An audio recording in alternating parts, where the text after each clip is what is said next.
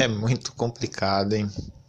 É muito complicado. O cara realmente tá no desespero, né?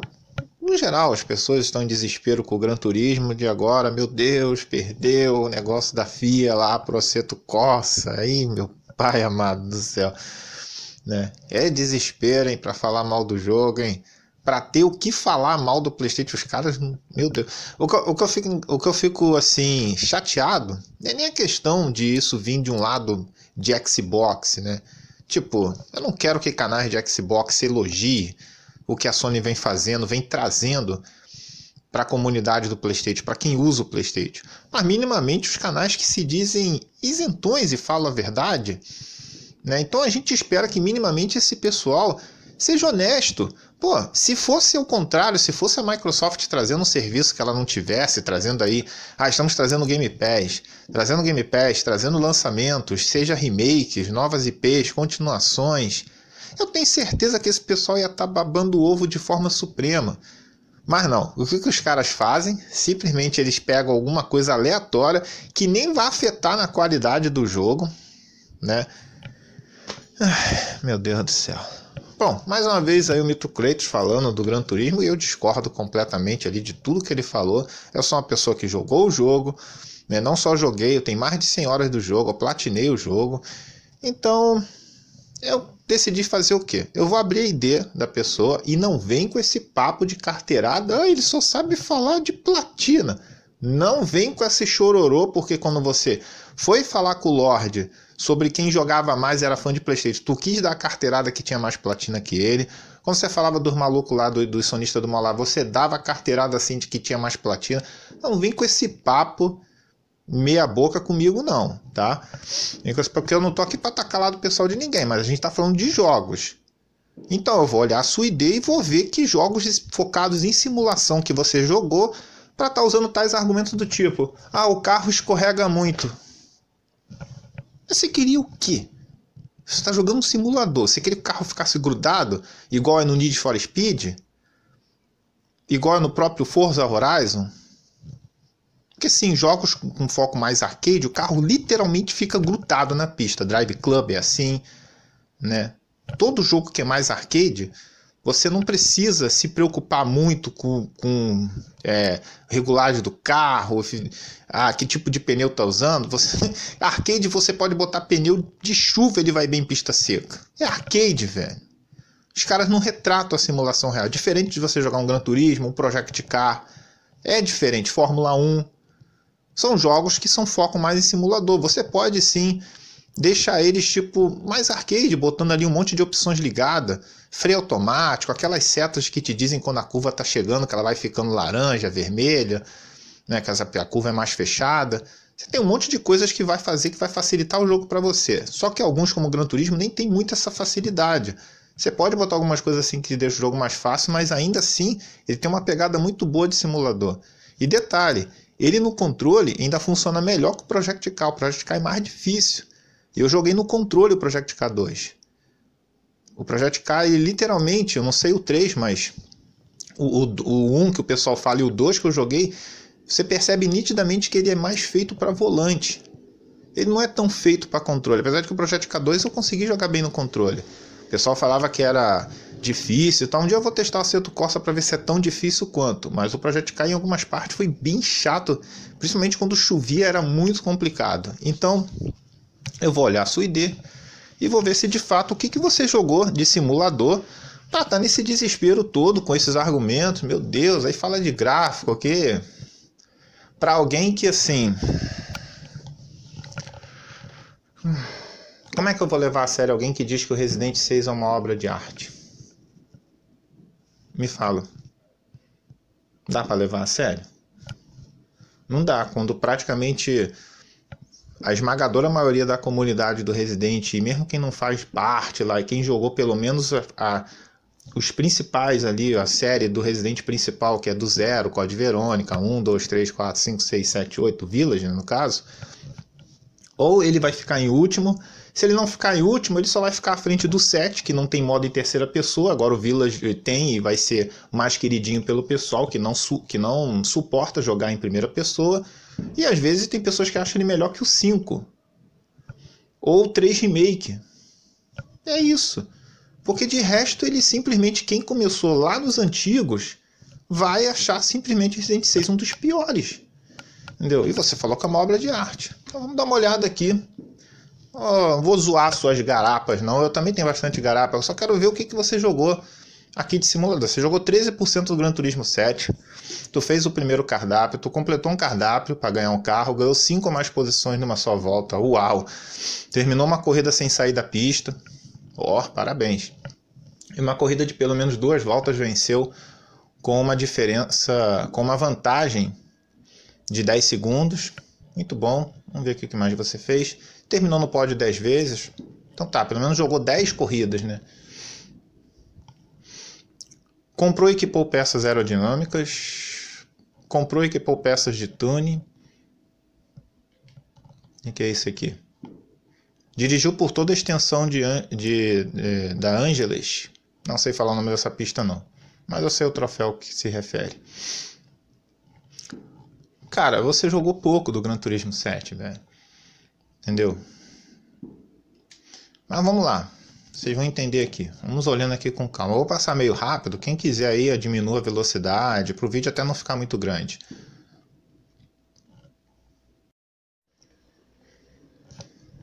Pelo visto, tu não curte muito Fórmula 1, não curte muito jogo de moto. Beleza, né?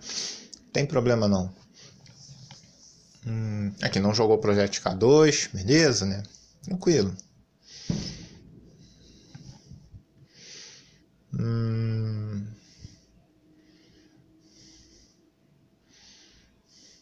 Nem vou focar nos jogos, cara, aqui. Quero só ver aqui jogos de corrida que você jogou. No Fórmula 1 até agora nenhum.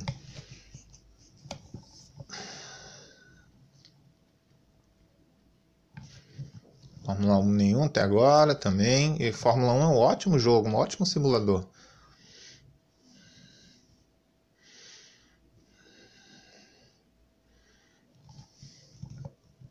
Fórmula 1 2016 também não.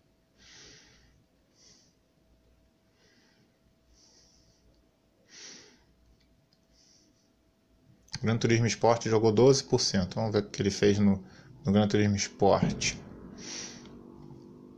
Conquistou ouro em todos os desafios de cones, de tráfego. Ah, ok. Pilotou um total de 100 km, pilotou, eh, atingiu a velocidade de 300 km, conquistou a primeira vitória, adquiriu um total de 10 carros, modo esporte desbloqueado, tá ok, concluiu sua primeira corrida diária, uh, ajustou completamente um carro pela primeira vez, é isso.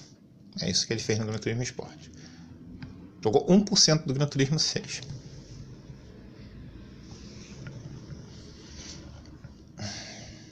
Nada do Fórmula 1 2015. Need for Speed jogou 2%. É um jogo fácil, não curtiu? Esse aqui, o carro, literalmente um super bonde na pista. Né? A platina dele vem praticamente automática. Só tem um troféu ali que é tipo como se fossem uns coletáveis. Drive Club aqui, cara, 44%. Jogou relativamente, mas é um arcade, né? É um arcade. Quando é arcade, a gente joga mais, né?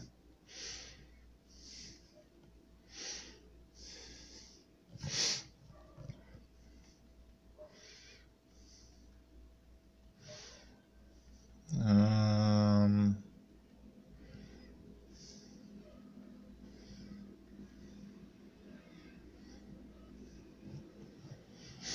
Ai, Deus do céu. Bom, a partir daqui são jogos que ele jogou e eu não joguei. Ele jogou 2% do Aceto Corsa, que testou da, da Plus. Ninguém platinou o jogo até agora. Fez aqui, chegou em 150 km. Comece a aprender uma pista. Até chato difícil, porque realmente o Aceto Corsa tem uma jogabilidade que ele não é feita para controle. Né? Mas ok, vamos lá. Isso aqui é um arcadezinho, ok.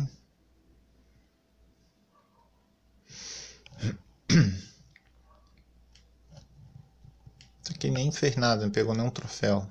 Nem sei se, enfim, nem sei do que se trata aquele jogo ali. O Dirt 5 jogou 1%, mas é arcade também, né?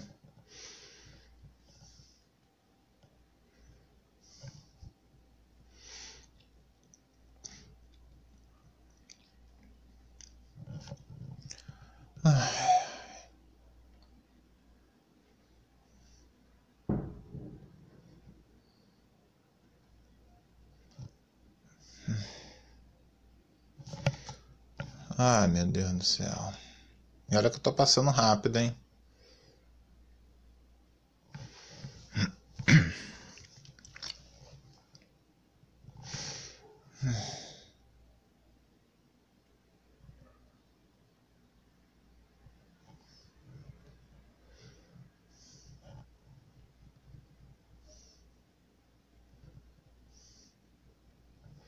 The Crew, quando o jogo é mais arcade, ele até joga 40%. Ai, meu Deus.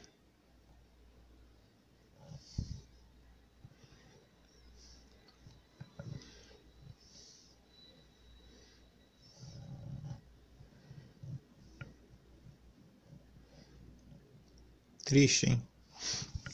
Não digo nem pelas, pelas garapas não, pessoal. Também tem. Tem umas aqui que é até divertida mas sinceramente é, eu acho que para pessoa reclamar de um estilo de jogo, porque claramente o estilo do jogo é diferente, se a gente não está falando de arcade. Arcade tem jogabilidade diferente de, de simulador, cara. Não... A Need for Speed Hit jogou 15%, deve ter não gostado, sei lá.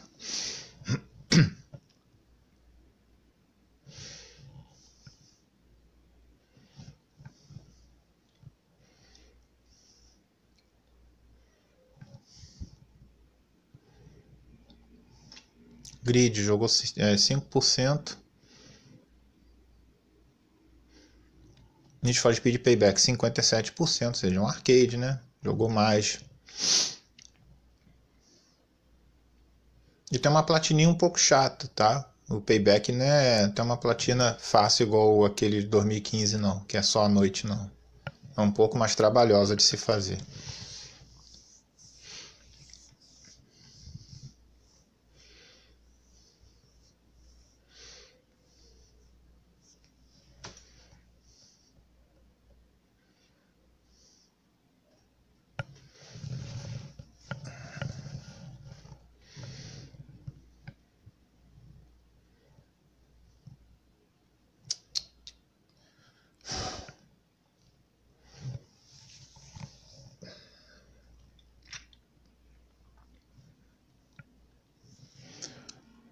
Difícil, hein? Difícil.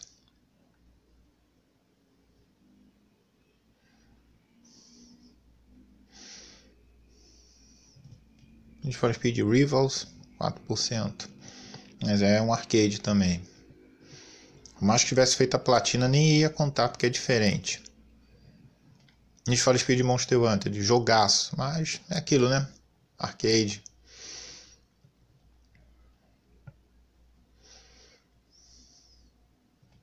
Aqui, eu nem vou contar esse jogo aí, velho. Não faço a menor ideia.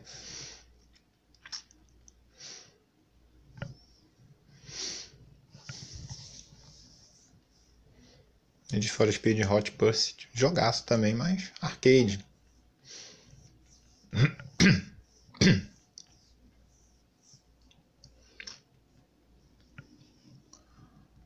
Ah.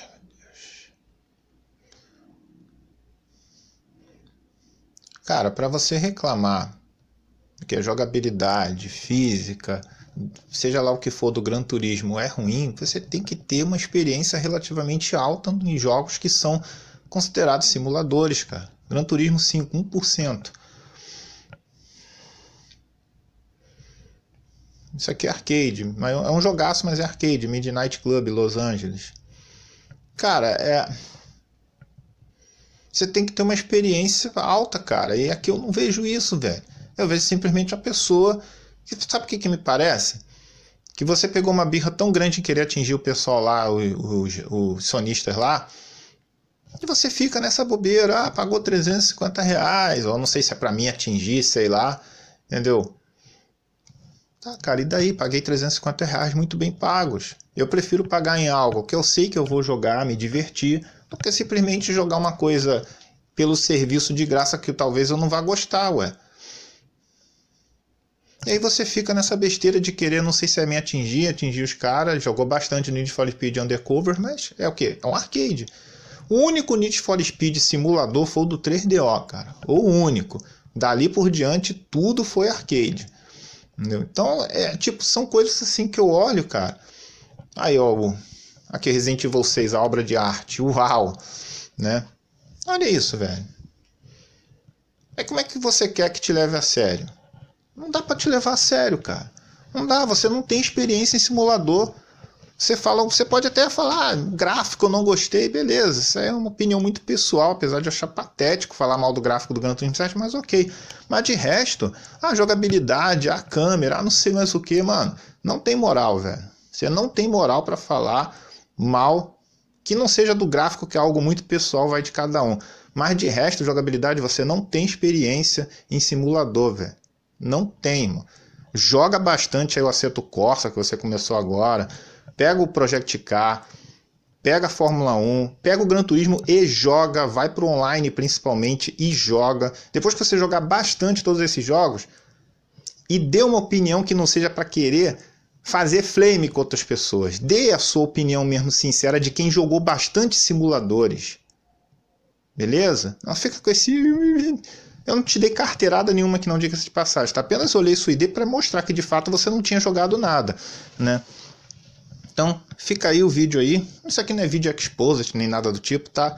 É só para poder quebrar esse argumento idiota de que oh, o Gran Turismo é horrível, jogabilidade, física e blá blá blá blá blá blá blá. Enfim, comenta embaixo no vídeo aí dê sua opinião sobre tudo isso aí. Beleza, pessoal? O vídeo já está muito longo, eu vou ficando por aqui. Forte abraço, fica com Deus. É nóis.